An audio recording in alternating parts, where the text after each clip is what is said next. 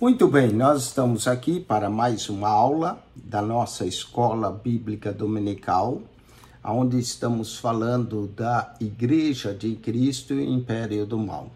Sabemos que estamos vivendo dias maus e que o mal cada vez se alastra, o mal está presente no mundo e é importante que nós estejamos cientes disso para isso não afetar a nossa fé e a nossa comunhão com Deus. Hoje nós vamos falar na lição de número 10, sempre estamos dois domingos atrasados, a lição 10, a renovação cotidiana do homem interior. Paulo diz que ainda que o nosso homem exterior se corrompa, o nosso homem interior se renova a cada dia. Então é importante que nós ah, possamos provar dessa renovação desse homem interior, através da obra do Espírito Santo em nós. Vamos então à renovação cotidiana do homem interior, lição 10, e a primeira coisa que nós vamos falar é o texto áudio. O texto áudio da nossa lição se encontra em 2 Coríntios, capítulo 4, verso 16, diz assim: Por isso, não desfaleçamos, mas ainda que o nosso homem exterior se corrompa, o interior, contudo, se renova de dia em dia. Que maravilha de verso, hein? Ainda que o nosso homem exterior se corrompa, o interior, contudo, se renova de dia em dia. Qual é a verdade prática? Por instrumentalidade do Espírito Santo, os salvos experimentam uma renovação interior em meio às atividades diversas ou externas. Então, em meio a adversidades externas, o salvo sempre está provando de uma renovação interior.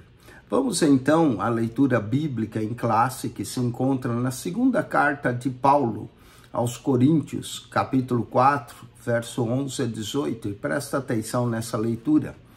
E assim nós que vivemos estamos sempre entregues à morte por amor de Jesus, para que a vida de Jesus se manifeste também em nossa carne mortal, de maneira que em nós opera a morte, mas em vós a vida.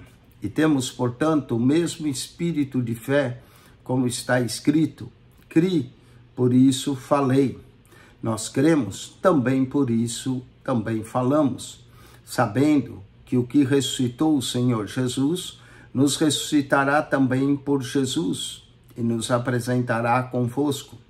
Porque tudo isso é por amor de vós, para que a graça, multiplicada por meio de muitos, torne abundantemente a ação de graças para a glória de Deus. Por isso, não desfaleçamos, mas ainda que se o nosso homem exterior se corrompa, o interior, contudo, se renova de dia em dia, porque a nossa leve e momentânea tribulação produz para nós um peso eterno de glória mais excelente, não atentando nós nas coisas que se vê, mas nas que se não veem, porque as coisas que se veem são temporais e as que se não veem são eternas. Que texto profundo e maravilhoso. Vamos à introdução da nossa lição. As, adver, as adversidades externas são uma inconstatável realidade. Isso nós vemos, Romanos 8, verso 22 a 23. Apesar disso, por meio do Espírito, os salvos experimentam a renovação espiritual no interior da sua vida, 2 Coríntios, capítulo 4, verso 16, que é o nosso texto áureo. Não obstante, durante a nossa existência, o corpo mortal permanecerá sujeito às adversidades da vida. 2 Coríntios, capítulo 5, verso 2 a 4. Nessa lição especial, veremos o sofrimento do homem exterior, o fortalecimento do homem interior e os desafios atuais como forças externas que tentam esmagar a nossa vida espiritual. A finalidade aqui é mostrar que o crente espiritualmente renovado pode resistir a qualquer ataque das trevas. A palavra-chave aqui é renovação. Vamos primeiro, o sofrimento exterior. A experiência de Paulo. O apóstolo Paulo é um exemplo de um homem que sofreu adversidades externas, mas não perdeu a solidez da vida espiritual. Suas epístolas relatam tribulações acima de suas forças, a ponto de ele perder a esperança da preservação da própria vida, 2 Coríntios, capítulo 1, verso 8. Ainda podemos ler menções do apóstolo em prisões, açoites, apedrejamento, perseguições, fadiga, fome, sede, frio, nudez, tudo isso encontra em 2 Coríntios, capítulo 11, do verso 23 a 27. Dessa forma, Paulo sintetiza as adversidades da nossa jornada de fé nas seguintes palavras: E também todos os que piamente querem viver em Cristo Jesus padecerão perseguições, 2 Timóteo capítulo 3, verso 12. Por isso, o texto bíblico diz: o tesouro do evangelho está guardado em nós, vasos de barro, 2 Coríntios, capítulo 4, versos 6 a 7. Isso é uma declaração de que somos feitos do pó, ou seja, somos mortais e por isso, como seres humanos, somos frágeis, 2 Coríntios 7, verso 5. Nesse aspecto, o homem exterior padece e sofre ataques por causa da cruz de Cristo. 2 Timóteo, capítulo 2, verso 9 e 10. Vamos ao exemplo do apóstolo Paulo. Mesmo diante do sofrimento, o apóstolo não retrocede e tampouco nega a sua fé. 2 Timóteo 4, 7 e Hebreus, capítulo 10, versículo de número 39. Suas provações forjaram a confiança em Deus na sua vida e ministério, 2 Coríntios, capítulo 1, verso de número 9 e 10. E também podemos ler Filipenses, capítulo 4, verso 12 a 13. Ele reconhece que suas fraquezas são instrumentos do poder divino. Paulo mesmo declara que o poder de Deus se aperfeiçoa na fraqueza, em sua oração em 2 Coríntios, capítulo 12. 2 Coríntios também, capítulo 2, verso 4, capítulo 4, verso 11, verso 12, verso 9, verso 10. Sua vida, a vida de Paulo, estava a serviço do Mestre Jesus, em favor de ser ele escolhido para a glória de Deus. Côncio de sua vocação, o apóstolo declara: Por isso, não desfaleçamos ainda que o nosso homem exterior se corrompa, 2 Coríntios 4, 16, nesse aspecto, o legado do apóstolo é de perseverança. Embora o homem exterior seja consumido pelas tribulações, pelo tempo, pela idade, o salvo não desanima nem recua. Acerca disso, Jesus Cristo nos assegurou: no mundo tereis aflições, mas tem de bom ânimo, eu venci o mundo. João capítulo 16, verso 36, 33. Vamos agora ao terceiro ponto desse primeiro tópico, sofrimento exterior. terceiro ponto fala da esperança do crente. Na Escritura, o contraste entre as aflições do homem e o poder de Deus estão assim representados. Paulo declara isso em 2 Coríntios 4, 8, parte A do verso. Atribulados, mas não angustiados. Significa que, mesmo pressionado, o crente não é esmagado. Perplexos, mas não desanimados. Indica que, mesmo confuso, o crente não se desespera. Perseguidos, mas não desamparados 2 Coríntios 4, 9, sinaliza que, mesmo ameaçado, o crente não é abandonado por Deus. Abatidos, mas não destruídos.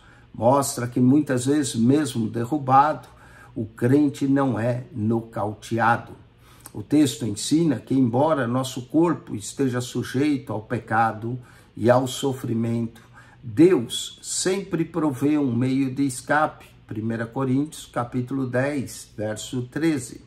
Nosso Senhor obteve êxito sobre a morte, e do mesmo modo temos a esperança da vitória e da vida eterna, 2 Coríntios 4:14.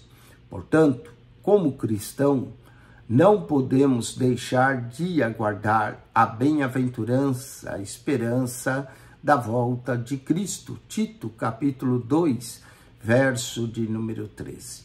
A sinopse desse primeiro tópico, o sofrimento exterior, o apóstolo Paulo sofreu muitas aflições, mas se manteve fiel.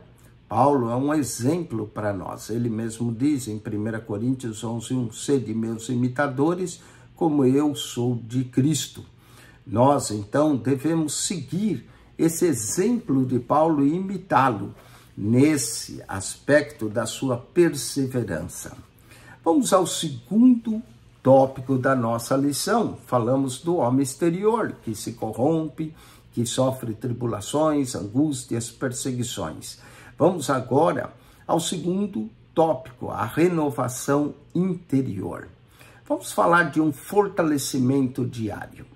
A Bíblia enfatiza que o Espírito Santo é o agente que habita no cristão e o ajuda a manter-se firme mesmo em meio às adversidades. Evangelho de João, capítulo 14, versículo 16 e 17. O poder do Espírito Santo atua no homem interior e capacita o crente a perseverar e a viver afastado do pecado. 1 Coríntios 2, 12 a 16. Assim, apesar da fraqueza e do sofrimento exterior, o nosso interior, contudo, se renova de dia em dia. Isto se dá devido à operação do Espírito Santo, que qualifica o salvo a não desfalecer. Do ponto de vista das disciplinas espirituais e práticas, esse renovo ocorre por meio de uma santificação pessoal, por meio também da fidelidade, da nossa reverência, da oração, do jejum e principalmente do temor a Deus. Para isso, você pode ler 1 Coríntios 7, 5, Efésios 5, 18, Hebreus capítulo 12, verso 14 e verso 28. Portanto, não podemos permitir que as aflições nos desanimem, mas devemos nos renovar e o nosso cumprimento em servir a Cristo e permitir que o poder do Espírito Santo nos fortaleça dia a dia. 1 Coríntios 16, verso 13. O segundo ponto da renovação espiritual, da renovação interior que ocorre no crente, deve o eterno peso de glória. O apóstolo Paulo declara o seguinte: a nossa leve e momentânea tribulação produz para nós um peso eterno de glória muito excelente. 2 Coríntios 4:17. Aqui ele faz um contraste entre o sofrimento presente e o futuro glorioso que nos aguarda. O apóstolo ensina que se comparado ao peso da glória que está nos aguardando, que ela é eterna, e a tribulação, que é leve, que é passageira, que é momentânea, nesse sentido, a adversidade apenas serve-nos como um instrumento encorajador para que o nosso homem interior, impulsionado a prosseguir, faça como Paulo, prossiga para o alvo, Filipenses capítulo 3, verso 13 a 14, e que a fé se renova à medida que o crente é capaz de suportar as tribulações. Jó, capítulo 42, verso 5, Salmo 119, verso 67. Portanto, faz necessário sermos sábios diante da tribulação, fugindo da murmuração e reconhecendo que as lutas, segundo o critério de Deus, são inevitáveis. Entretanto, as Escrituras ratificam que as aflições desse tempo não podem ser comparadas com a glória do porvir. Romanos capítulo 8, verso 18. terceiro ponto, então, dessa renovação interior acontece devido à visão da eternidade fortalecido em Deus e tendo plena consciência da vida vindoura, o cristão é exortado a não focar nas coisas que se vê, mas nas que se não vê, porque as que vê são temporais e as que não se vê, essas são eternas. 2 Coríntios, capítulo 4, verso 18.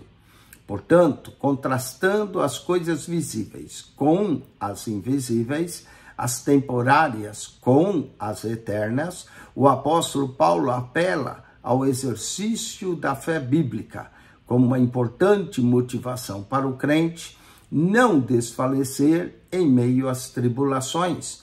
Hebreus capítulo 11, verso 1. Uau. O fundamento da fé é a, a espera das coisas que não se vê. Nesse caso, somado à renovação diária do crente, que não por acaso o apóstolo Paulo escreveu: pensai nas coisas que são de cima e não nas que são da terra. Colossenses, capítulo 3, verso 2. Vamos então à sinopse do ponto 2. Precisamos buscar o renovo do homem interior constantemente e nos fortalecendo com a ajuda do Espírito Santo. Vamos ao terceiro ponto da nossa lição: os desafios de hoje. Vivemos em uma cultura secularista. Esse é o primeiro ponto. O espírito da Babilônia, por meio dessa cultura secularista, procura esmagar a vida espiritual dos crentes. Apocalipse 17, verso 5. É um sistema materialista, conforme estudamos até aqui em todas as lições que vimos. Essa materialismo e secularismo acaba negando a realidade espiritual e até mesmo a existência de Deus. A verdade bíblica e todo o conjunto de valores provenientes da palavra Deus diante desse ataque, o Altíssimo continua a buscar um povo que seja renovado por dentro, que resista aos ataques externos, e que tome posição contra o advento do mal. Ezequiel, capítulo 22, verso 30. Relativismo doutrinário. Outro ataque que procura matar a nossa vida espiritual é esse processo de desconstrução que nós estivemos estudando dos fundamentos da fé. Não podemos tolerar essa relativação doutrinária. Ora, relativar a doutrina bíblica é enfraquecer o nosso homem interior. Não há como se renovar na nossa vida espiritual sem ter em conta a alta autoridade da própria palavra de Deus. Não se pode fazer uma releitura seletiva da Bíblia para agregar à igreja os que não aceitam a sã doutrina. 2 Timóteo, capítulo 4, verso 3 o relativismo, aliado à ideologia secularista, impõe o que deve ser considerado como ideal. Assim, o pecado é aceito e é tolerado dentro das próprias igrejas. Porém, o crente que é renovado deve reagir contra essa inversão de valores, deve resistir ao espírito da Babilônia e batalhar pela fé que uma vez foi dada aos santos. Judas, capítulo 1, verso 3. Batalha espiritual. Todo salvo trava uma batalha espiritual nesse mundo. A Escritura diz que Satanás é o Deus desse século e que o mundo jaz no maligno, 2 Coríntios 4, 4, e a carta de João, 1 João 5, 19. Por isso, na nossa declaração de fé, realça que foi um engano que ele começou as suas atividades contra o homem. Gênesis 3, verso 13, 2 Coríntios 11, verso 3. E é com essa arma que o diabo e seus agentes ainda conduzem as pessoas nesse mundo. Apocalipse 12, verso 9. outros sim. Os espíritos malignos têm capacidade de influenciar os que vivem na desobediência, manipulando, aprisionando e colocando pessoas contra Deus. Efésios, capítulo 2, verso 2. Por isso, a Bíblia alerta que a nossa luta não é contra o homem, mas contra os demônios. Efésios 6:12. De certo, o crente renovado de posse da armadura de Deus, conforme Paulo descreve em Efésios 6, deve posicionar-se contra as astutas ciladas do diabo, orando em todo tempo, com toda oração e súplica no Espírito. Portanto, a sinopse, tópico 3, a cultura secularista, o relativismo doutrinário, combate contra a fé cristã. Precisamos nos fortalecer e tomar toda a armadura de Deus para poder vencermos essas batalhas espirituais. Muito bem, vamos então agora à conclusão da nossa lição. Durante a existência do corpo mortal, nosso homem exterior está sujeito às tribulações desta vida. 2 Coríntios, capítulo 4, verso 11.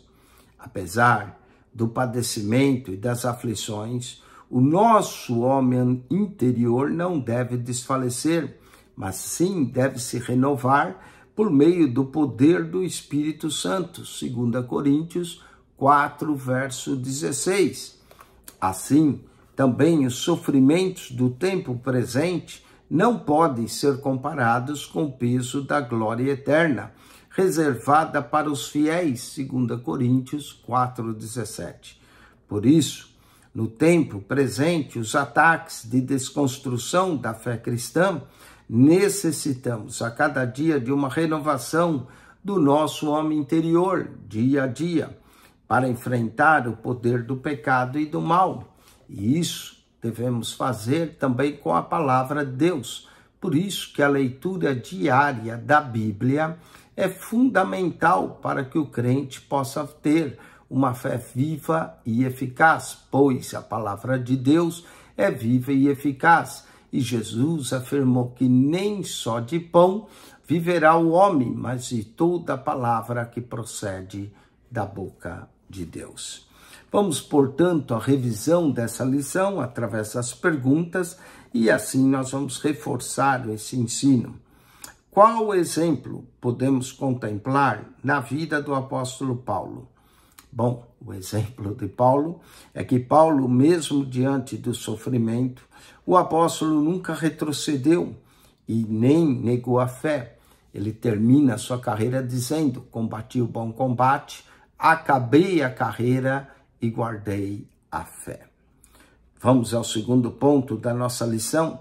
O que a Bíblia enfatiza a respeito do Espírito Santo? Vamos à resposta. A Bíblia enfatiza que o Espírito Santo é o agente que habita no cristão e o habilita a manter-se firme em meio às adversidades da vida.